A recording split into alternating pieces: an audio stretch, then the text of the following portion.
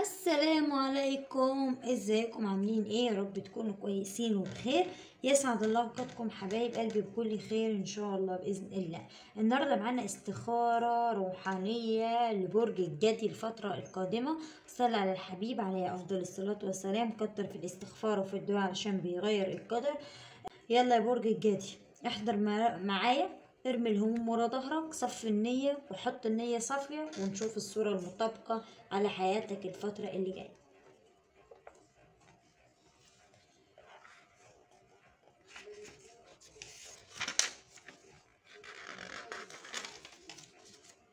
بسم الله. فعلا الصورة بتنطبق عليك يا برج الجدي مظلوم يا برج الجدي مظلوم وسط ناس استغفر الله العظيم منها بس عايزة أقول لك على حاجة. ناوي تغير مكان. ناوي تبني حاجة مختلفة. ناوي تشتري أرض تشتري شقة تشتري زي ما يكون. ناوي يكون عندك انطلاقة جديدة تغيير جديد بالخير. في حواجز بينك وما بين من تحب. حواجز بينك وما بين من تحب. الشخص اللي انت بتحبه في حاجز بينك وما بينه. الأيام اللي جاي اللي جاية الحاجز ده هيتفك وهتحصده خير بإذن الله. عشان عندك دعوة مستجابة لربنا. انت واثق في نفسك الأيام دي جدا. بتشتغل على نفسك. وما بقاش يهمك أي كلمة تضايقك أو أي حاجة تزعلك. بتقول أنا هعمل العمل الصالح وزي ما تيجي تيجي. في قرار قرار شاغل بالك ومقالك مدة عايز تاخده ومش عارف. القرار ده هيكون حلو جدا في حياتك زي ما هيكون قرارك بس القرار ده أنت هتبني عليه حاجات كتيرة جدا عاقلة في حياتك الفترة اللي فاتت. عندك هنا حاجة ممنوعة كل ما تيجي تعملها بتلاقي حد واقف لك فيها ومش عارف تاخد خطوة لقدام. شايفة كمان إنه في ناس بتستكتر. في ناس عندك مستكترينك حاسين إن أنت حاجة مختلفة.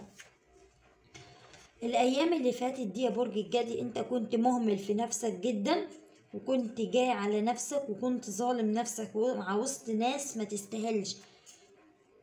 في حاجات كتيرة بدأت تعملها. في حاجات كتيرة جدا بدأت تشتغل عليها. أربع أيام وهيجيلك خبر. والخبر ده هيفرحك. وهيبقى عندك طلاقة جديدة وفرحة جديدة وهتستعيذوا بالله من الشيطان الرجيم. عندك هنا فضفضة. في يومين بعد يومين. بعد يومين هت- هتدعي ربنا كتير جدا إنه يحفظك ويغير من من حياتك. عندك ندر عليك حاول توفي بيه. عندك صفقة عرض عمل عرض شغل عرض جواز عرض تغيير الله أعلم. بس أنت عندك عرض جديد في حياتك الأيام اللي جاية. وهتعود حياتك اللي فيها الخير والسعادة تاني في رسالة عندك يا برج. الجدي خلي بالك في رسالة هتجيلك. انتبه على نفسك وخلي بالك من اتنين ستات. انت في أشد المحنة عندك يا برج الجدي اليومين دول. في خنقة وفي ضيقة. الرسالة اللي هتجيلك هتبقى حلوة ليك وهيبقى في لقاء بينك وما بين الشريك وهيبقى في حساب. هتعيدوا حساباتكم من تاني وهتاخدوا كل واحدة يقول اللي عنده. في حد عندك تعبان ومريض ربنا هيشفيه الأيام اللي جاية. وهتكسب من المشروع اللي انت داخل فيه ومن الصفقة الصفقة اللي هتجيلك بإذن الله. مهما بتغلط ومهما بتعمل بتعود لربنا تاني. دايما بتشهد على الحق وما بتقولش غير الحق يا برج الجدي. بس خلي بالك فتح عينيك أكتر علشان تشوف الأشخاص اللي حواليك عايزين منك إيه يا برج الجدي؟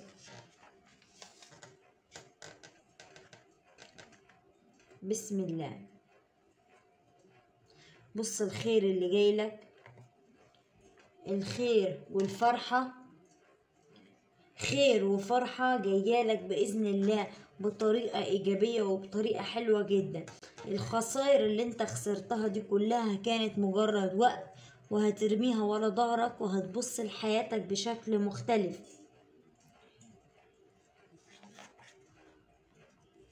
انت في موضوع متردد فيه. في موضوع متردد فيه ومش عارف تاخد فيه قرار ولا عارف تعمل إيه. عندك هنا إيه يا برج الجدي إن أنت تخلي بالك من نفسك وتروح تعيد حساباتك من جديد وتشوف إيه اللي ناقصك وتشتغل عليه. تشوف عايز إيه وتشتغل عليه. إيه حاول تطلع صدقة يا برج الجدي الأيام دي. حاول تطلع صدقة بأي طريقة. حتى لو هتطلع حاجة من بيتك طلع صدقة. عندك لمسة عاشقة. قرينك رجليك بتوجعك جدا يا برج. الجدي. رجليك بتوجعك جدا. دمعتك قريبة منك. بت- بتعيط وتدعي ربنا. بتعيط وتدعي ربنا عشان حاسس إن أنت اتظلمت. خاب ظنك في ناس كتيرة جدا. خاب ظنك في ناس كتيرة جدا. آه ناس أكرمتها واديتها وكبرتها وما تمرش فيها يا برج الجدي بالعكس ظلموك وجوا عليك. عندك حسن حظ حسن حظ الأيام اللي جاية. بسم الله ما شاء الله. عندك تغيرات جذرية في حياتك بفضل ربنا سبحانه الله وتعالى. عندك إيه بينك وما بين الأهل بينك وما بين شخص عد- عداء في عدو. خلي بالك. انت دايما صابر وتقول طول ما أنا صابر ربنا هيكرمني. ربنا بيخيبش ظن حد ابدا. دايما بتقول إن ربنا هو السميع العليم. الليل والنهار والشمس والقمر عندك بقيت مش عارف تعمل إيه. حاسس إن أنت تعبان مخنوق في خنقة وفي حاجة ماسكاك. بس ما تقلقش الشراء اللي انت عايزه تعمله هتعمله الفترة الجاية بخير بإذن الله. ربك هو المستعان ليك يا برج الجدي واتكل على ربنا. بسم الله. في واحدة ست كل ما تطلع من كل ما تطلع منك أو تطلع من حياتك ترجع لك تاني. وبتقولك أنا حية طول ما أنت حية أنا مش هسيبك. الفترة اللي جاية دي يا برج الجدي حاول إن أنت تظبط نفسك بمواعيدك حاول تظبط نفسك بحياتك حاول تعمل حاجات مختلفة حاول تشوف أنت عايز إيه وتعمله. حاول تهتم بنفسك أكتر حاول تفعل شوية حاجات مختلفين. في دعوة من قلبك الأيام اللي جاية حلوة وفي تجمعات بإذن الله هتكون سعيدة لحياتك. في هنا حد أذيك حد أذيك وبيزن عليك. احرص وخلي بالك. في هنا كمان قضاء حاجة. في قضاء حاجة عندك الأيام اللي جاية يا برج الجدي. كون حريص وخلي بالك. احزم في أمورك. احزم في تصرفاتك. فتاة الجدي انت متألقة وهتكوني دايما متألقة وهتكوني دايما سعيدة في حياتك. خاب ظنك في ناس كتير اتظلمتي من ناس كتير. محدش بيسأل عليكي ولا حد فاكر فيكي بس عندك أمور حلوة. أنتوا اكتشفتوا خيانة واكتشفتوا سر اكتشفتوا حقيقة أشخاص كانوا في حياتكم بيلعبوا على الطرفين. أشخاص ما كانوش كويسين. عاملين الحق بالباطل. نقدر نقول إن هم كانوا أشخاص مجرمين. ناس كلها إجرام. ناس مش كويسة. بسم الله. شايفين الأفاعي اللي في حياتك؟ في أفاعي كانت في حياتك يا برج. الجدي مش سايبينكم في حياة مش سايبينكم في حالكم. بسم الله ما شاء الله كمان. عندك أخبار حلوة في حياتك الفترة اللي جاية وهيكون في تحسنات جميلة بس حاول تخلي آه ثقة بنفسك وتعيد حساباتك عشان خاطر أمورك. في حد هنا بينقي الكلام احذر منه. انت عندك عمل جديد وظيفة جديدة فلوس جايالك في الطريق. انت دايما بتسعى عشان تحقق دايما متحبش الحاجة تجيلك بسهولة. دايما بتسعى عشان تبني مستقبلك. بتسعى عشان تعمل العمل الصالح. بس وراك أشخاص مش حابينلك الخير. لازم إيه يعني أنت لازم تغير من نفسك. لازم تعمل حاجات كتيرة مختلفة. هيكون عندك رضاء بالنفس وعندك تغيرات جذرية في حياتك وهتسعى في أعمال حلوة لحياتك. بس خلي بالك في أشخاص مش حابينلك الخير. في أشخاص عندك مش حابينلك الخير. في حد عندك بيحاول يتعبك. في حد عندك بيحاول يتكلم عليك وبيأذيك بطريقة مش كويسة. وانت دايما متألق وعلشان نيتك صافية بتقول يا رب. مناماتك مزعجة. مناماتك مزعجة جدا وبدأت تخاف تنام. خايف تنام جدا يا برج. ال- الجد بسبب التوتر والحيرة اللي انت فيها في رجوع لحد لحياتك الفترة اللي جاية. بس ارجع اقولك احذر من نميمة ومن كلام. مصلحة حكومية مصلحة تخص الحكومة ورق هتستلموها. في دور ليكم أنتوا هت... هتمضوا عليه الله أعلم. فعايزاكم تخلوا بالكم لأن في شوية تناقض في شوية حاجات مرفوضة ومش مرفوضة. عندكم آه، إبراج آه، عندك برج الميزان برج الثور برج الحوت بينكم كلام بينكم مشاعر متلخبطة. بينكم حاجة هتحصل الفترة اللي جاية فتخلوا بالكم من نفسكم أكتر لأن أنتوا على فترة من الفترات اللي هتكون أحسن فترات حياتكم. أنتوا بتسألوا أسئلة كتير بتقولوا الفرح اتأخر إحنا مش عارفين إيه اللي بيحصل أو مش عارفين في إيه أو إيه الدنيا فيها إيه. لكن الفترة اللي جاية هيكون في خير قادم ليكم والخير اللي هيكون قادم ليكم ده هيكون فيه تفاؤل وفيه حماس. أنتوا بس تهدوا شوية وتهدوا أعصابكم. نصيبكم الحلو لسه قدامكم بس تخلوا بالكم من نفسكم لأن أنتوا داخلين على حكاية هتبقوا عايزين تفهموها وكمان هتثبتوا وجودكم في حاجة كبيرة قوي. في حاجة أنتوا مخبيينها أو أنتوا في حاجة في حد بتتجاهلوه والحد ده باله مشغول بيكم. عايزين بيتقرروا قرر- بتقرروا إن أنتوا تسافروا. عايزين تطلعوا من العزلة اللي أنتوا فيها والوحدة الفترة دي لأن الفترة الفترة دي من أكتر الفترات اللي أنتوا في عزلة تاما عن البشر. في عزلة تاما مش عايزين تتكلموا مع حد ولا تفتحوا مواضيع مع حد. وعشان كده أنتوا عايزين تطلعوا رحلة عايزين تغيروا جو عايزين تعملوا حاجة يكون فيها طاقة إيجابية. الطاقة الإيجابية إن أنتوا تعملوا الحاجة اللي أنتوا بتحبوها. وما تخلوش ال- الأمور السلبية تأثر عليكم. اهتموا بنفسكم اهتموا بروحكم. أنتوا عندكم مشاغل في يعني كذا كذا حاجة بتفكروا فيها.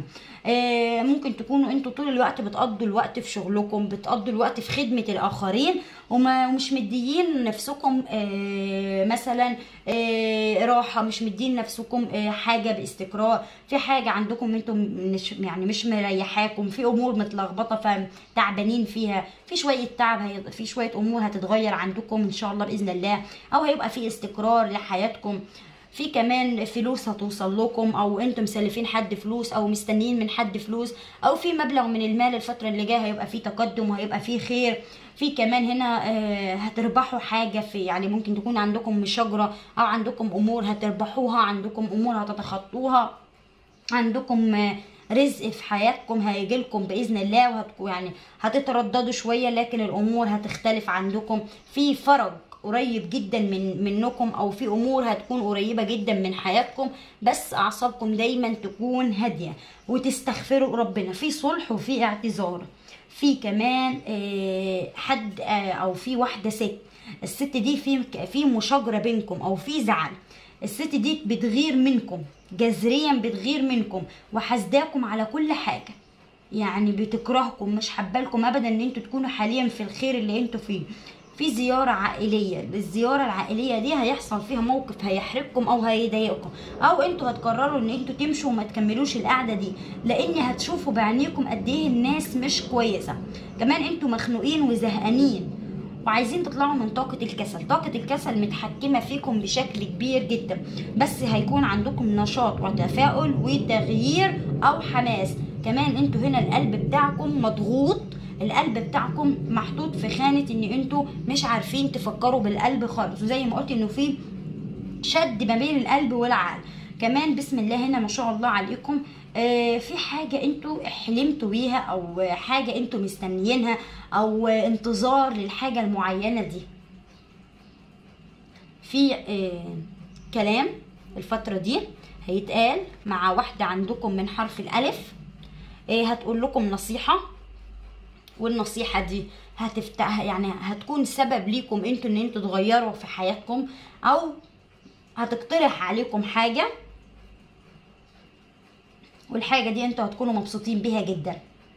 لأن في كلام هيتقال بإذن الله الفترة اللي جاية وفي استقرار مين اللي عندكم هيعمل عملية أو أنتوا هتعملوا عملية أو حد هيعمل عملية؟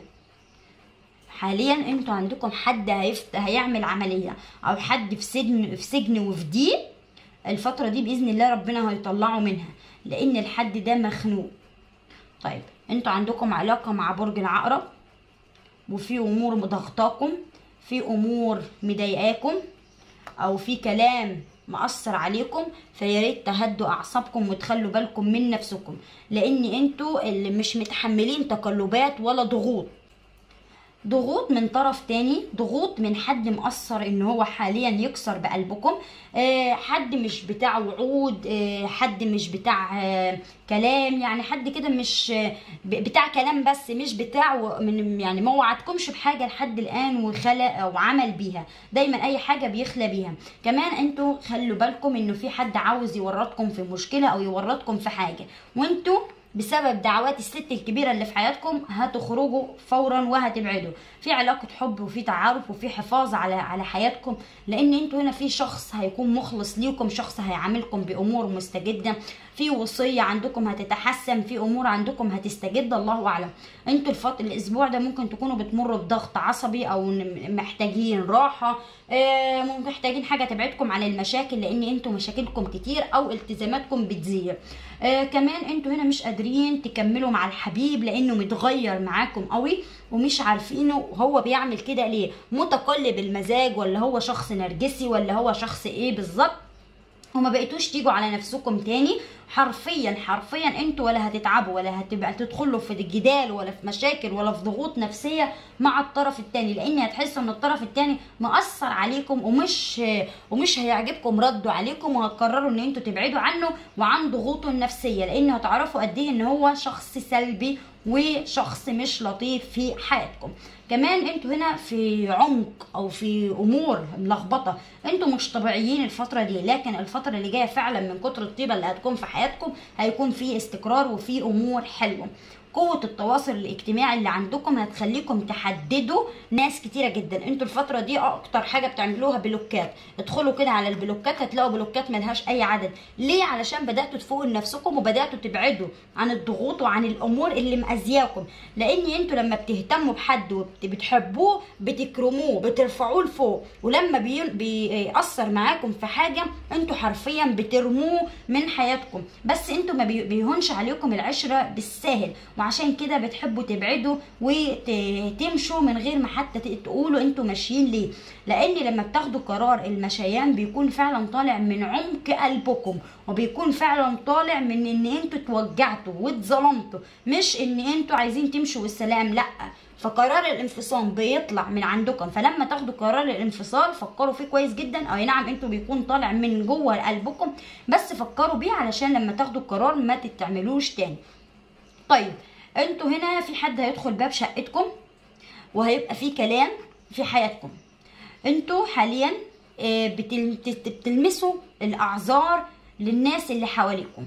يعني لو في حد أثر معاكم بتدوه عذره. لكن أنتوا لما بتأثروا مع حد محدش بيديكم العذر بتاعكم.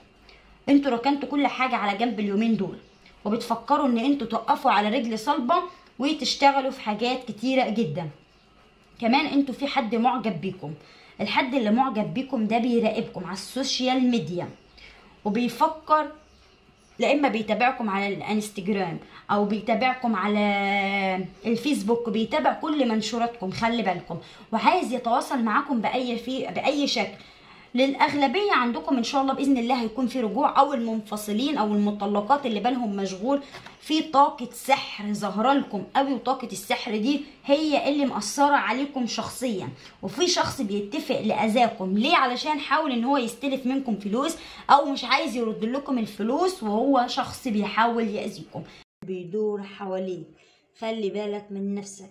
عليك وعلى أدعية. آه، تحصين النفس. عشان الحسد مدمرك الفترة دي يا برج. الجدي وعامل لك بعض التوتر وبعض الحيرة. مش كده وبس كمان. ده أذيك بطريقة آه، طريقة رهيبة. لدرجة إن أنت ما بتعملش حاجة غير إن أنت بتقدم لهم الخير. وحاسس إنه عندك بعض العراقيل وبعض التوتر اللي بالك مشغول بيها وفي بعض المشاكل. عندك هنا حسن حظ الأيام اللي جاية ولقاء حلو جدا مع راجل صالح. هيديك انطلاقة جديدة وهيفرح قلبك يا برج الجدي. بس انت خلي عندك ثقة بالله علشان ربنا يغير حياتك. فانتوا تخلوا بالكم دايما من نفسكم لأن يوجد شخص اخت... يعني ممكن الشخص ده يكون فيه اختلاف بينكم هو حقود وغيار وهيبقى يعني سلبي. والشخص اللي بيحبكم وبيراقبكم إن شاء الله بإذن الله هيقف معاكم وهيساعدكم إن هو يرجع لكم حقكم إذا كانت في محكمة أو هيرجع لكم حقكم من بعد الصبر والمجهود والطاقة اللي أنتوا كنتوا فيها أو هيكرمكم أو هيديكم أو هيقف معاكم. أو هيكون سبب بإذن الله إن أنتوا تتخطوا المشاكل اللي أنتوا فيها حاليا أو تتخطوا الضغوط اللي أنتوا فيها. في أمور هترجع هترجع المية الم- لمجاريها أنتوا دايما تخلوا بالكم. وتخلوا بالكم من تجمعات النسب لو أنتوا عندكم نسب في العيلة. لأن مش هيكون في مصلحة ويكرمك من فضله الواسع. تحياتي ليك يا برج الجدي. ما تنساش قناتنا الجديدة.